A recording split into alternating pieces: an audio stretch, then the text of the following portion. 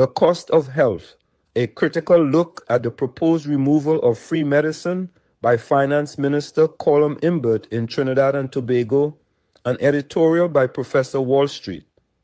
In a recent development, Finance Minister Colm Imbert has indicated the challenges of funding the free medicine program under the Chronic Disease Assistance Program, CDAP, in Trinidad and Tobago.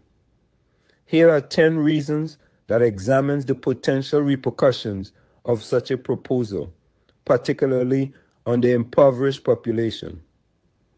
1. Increased healthcare expenses. The removal of free medicine would immediately translate to increased out of pocket healthcare costs for individuals, disproportionately affecting those who are already struggling financially. 2. Access to medication. For many, Free medicine is the only means of accessing necessary drugs. Without it, the poor may forego essential medications, leading to worsened health conditions. 3. Chronic disease management. CDAP specifically targets chronic diseases, which require long term medication. The inability to afford these could lead to a rise in complications and fatalities from conditions like diabetes and hypertension. 4. Children and the elderly.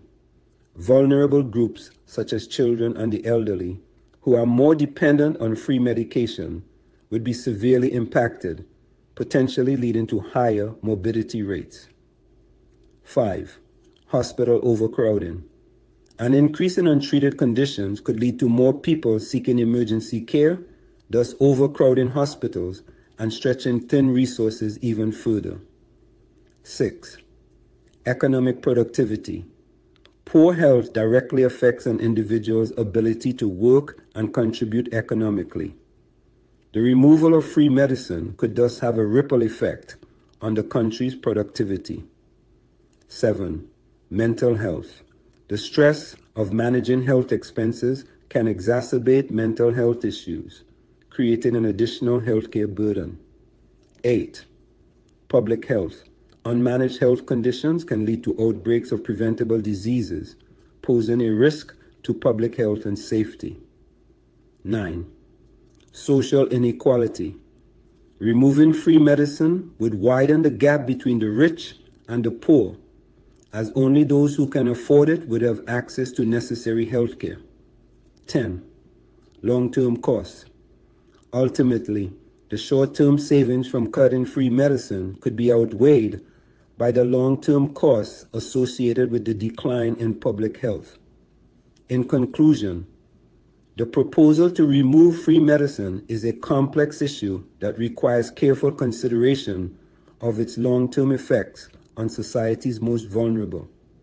It's imperative that any decision made is in the best interest of the nation's health and future.